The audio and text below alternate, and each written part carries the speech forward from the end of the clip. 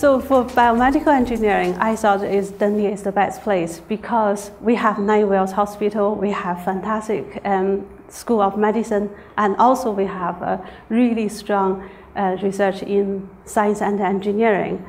Ultrasound is one of the important topics over here, and it's very make uh, it's very unique for Dundee to study on ultrasound and also teaching students for ultrasound topics there because it's, ultrasound is quite um, important for medical cares and to look at ultrasound actually that's my starting point of the research in Dundee looking at ultrasound, people thinking about ultrasound probably were thinking about ultrasound imaging.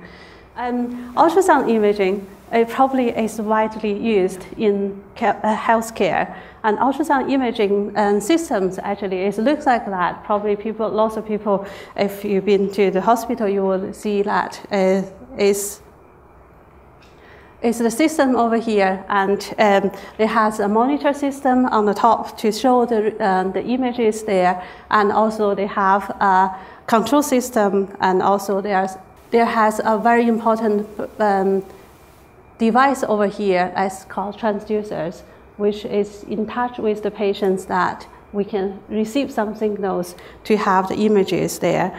And ultrasound probably will see, and most people will see, thinking about ultrasound as scanning baby for babies there. And ultrasound uh, for scanning the babies has have a lot of uh, new advantages and development there from the 2D scans and the black and white um, image there into 3Ds, now in 4Ds. And you can see there is the ultrasound image is quite clearly show the baby movements in um, and there's a quite uh, nice pictures over there. And also, ultrasound has been used not only in just scanning for babies, have used for many other applications there. For example, um, ultrasound has been put under, under the endoscopies there to, to scan the inside of the bodies. And also importantly, there's ultrasound has been used as an image guidance for many procedures. For example, and when people doing the uh, um, biopsies procedures there, there's often is done under ultrasound guidance. And ultrasound image has provided as a very important guidance for many procedures, you know, uh, and also I'm going to talk about in, uh, in the next few slides, talking about ultrasound for other applications there Ultrasound imaging is just like a sound wave travel inside of the body, and we, using the transducer, we can receive some signals and to provide an image and to guide procedures there. And this has been used as very important tools for diagnosis as well. Because of the development in ultrasound, they not only just see the image, and they also can measure the properties of the tissues as well.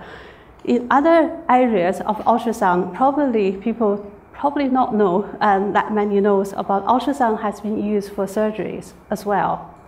So in the surgeries, in the open or the um, keyhole surgeries there, people using, the surgeons using the ultrasound to dissect the tissues. And how it works is that actually it's just using uh, ultrasound waves, or we say that as a mechanical engineer, we say that it's a vibrations motions, using that vibrations motions to cut tissues, to reduce the damage and reduce the bleedings. And also it has been used for other places. You know, if you go to the dental treatments there, you probably have used ultrasound machines already. Ultrasound has been used for dental cleaning procedures or the implant procedures there because of the lots of different treatments there, as engineering, we have to design different tools to fit for the different purposes there. So you probably will see that in the dental um, treatment rooms there, there's a lot of different um, type of the tool tips and to fit it onto the device and for the different purpose of the treatments there. So the, the key areas we do look in is the here is the transducer here. And that's provide a mechanical vibrations to the two tips and applying for the different procedures there. And for this case there, ultrasound has been used as an energy source to provide a lot of energy, mechanical vibration, and energy towards the, uh, towards the surgeries and to damage the tissues here. And the energy source um, it provide, uh, over here is used a much higher energy but lower frequencies here. Then another one is very interesting one. Recent, in the recent years, is developed as a, using ultrasound for the uh, non-invasive surgeries.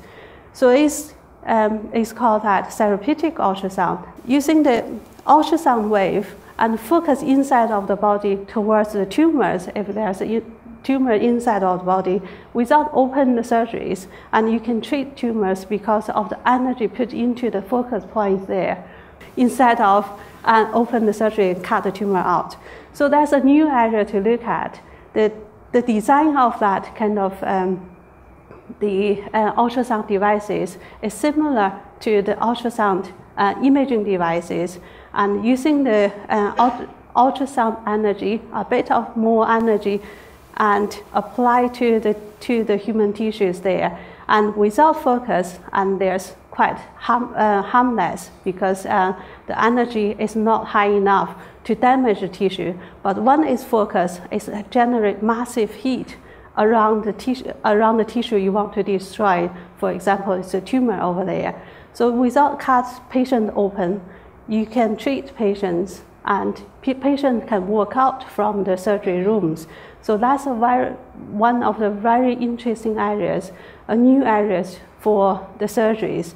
And it has been applied to many, many of the um, treatments there. For example, there's a liver and cancer treatments and prostate and um, brain tumors or the uterine fibroids is a very common um, treatment for using ultrasound right now. So there's a lot of uh, interesting um, procedures and applications in medicine using ultrasound. But for us, if we want to develop further for ultrasound, in terms of biomedical engineering, ultrasound research for us is what we're trying to do is we're using our knowledge trying to understand what happens between the tissues and the ultrasound devices and trying to find a solution to solve the problems. So in our research, ultrasound research in our labs over here, we set up very nice uh, facilities to study tissues and to regenerate um, models for the human bodies. For example, we're using the data that we come from the ultrasound image or MRI image or CT image. We reconstruct it and trying to understand the structure of that and also to test the property of those tissues there and trying to understand what's the, um, the biology or the medical um, the issues around those tissues there. So in our labs over here, we develop a nice models for tissue mimicking materials. We can fabricate um, all the materials we generated from the medical images. We also we can testing it and we can put that together into a nice model to mimic the patient data. We not only to look at the structure wise, we also can generate the patient um, breathing motions because that's important for the surgeries. So we create a model with the structure similar to the patient, individual patients. We also can generate to mimic the patient's um, breathing motions plus the blood flow motions as well. So in our lab, we have generated a lot of the reconstructed lots of images for, for, for example, over here is the images we generated from the ultrasound uh, scan for babies.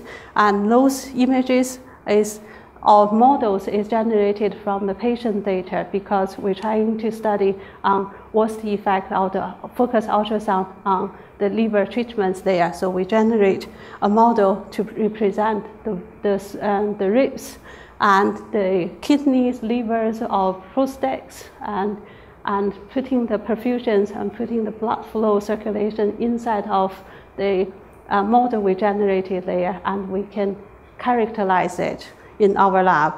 And then what we do is we're using that knowledge to apply the design of the systems. So the design of the systems including study the material we use. For example, the piezoelectric material, which is a key material to generate and to use for ultrasound devices. And we put the devices together based on the understanding of the tissue side and the devices side.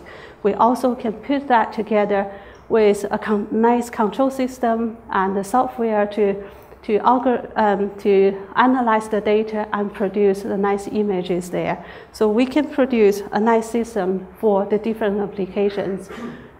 The most important thing is about applications because and the, all the devices you, de you developed, it have to be for different applications, have to suit uh, those applications there. So in ultrasound research in our lab here, we're looking at applications in all these three areas, in the imaging, surgery, and also in the interventions as well. Um, so for example, the image-guided uh, and therapeutic ultrasound surgeries. I'm going to show you a couple of examples of our work using ultrasound.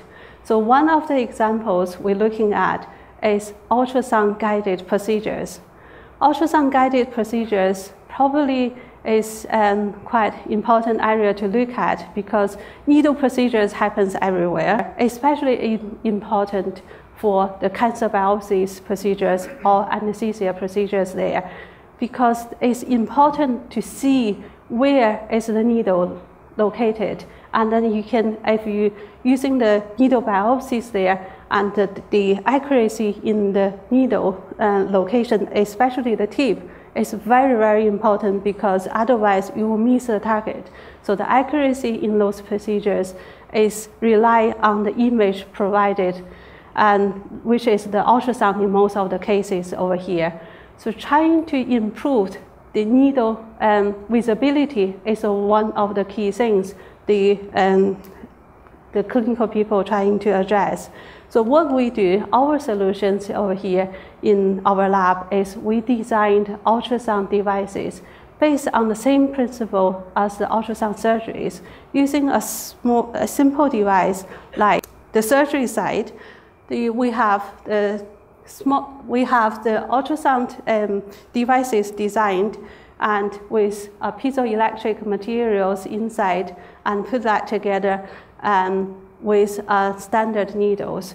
And what, what we can see is the difference between the none of the ultrasound uh, needles with the standard needles there. With the standard needle, we only you can't really see um, you can't really see the the without ultrasound you can't see the needle located. So it's difficult to locate where the drug's supposed to go or where you take the biopsies there. But with the small vibration we provide from the ultrasound devices here, we can see the needle properly, and we also can see to, to see the needles when it goes into the tissues there. All, uh, we can see the, all the pathways over there um, as uh, examples. This one has been, this work has been um, kind of taken forward by uh, medical companies and to commercialize that and to help the, especially on the, um, the cancer biopsy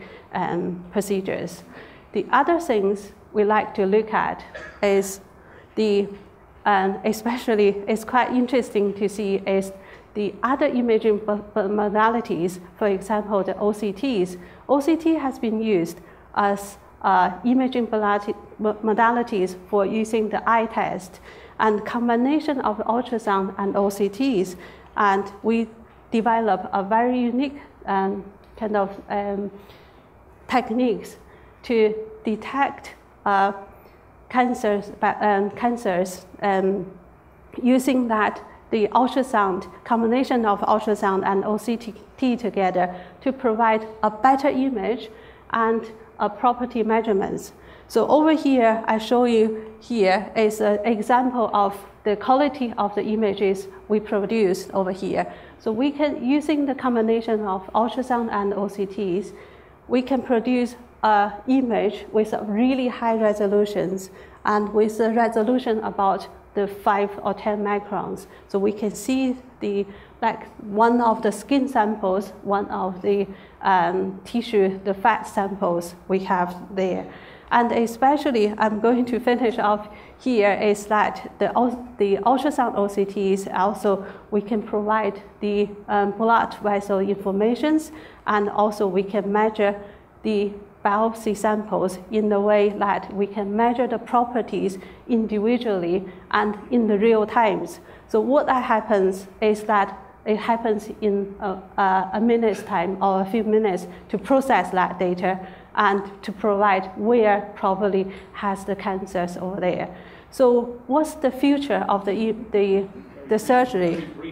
Yes, so that's the last page anyway. So what's the, um, the future of the surgery could be is that we can do the scanning, it's like the Star Trek there, we can do the scanning and in the real times, and then we can use focus ultrasound to treat the diseases without open the surgeries. So the patient can walk in like the checkup, not knowing the, the diseases and work out with the disease free. So that's our future for using ultrasound for diagnosis and the surgeries here. So I'm going to finish off there, over here. So that's the uh, acknowledgements for students.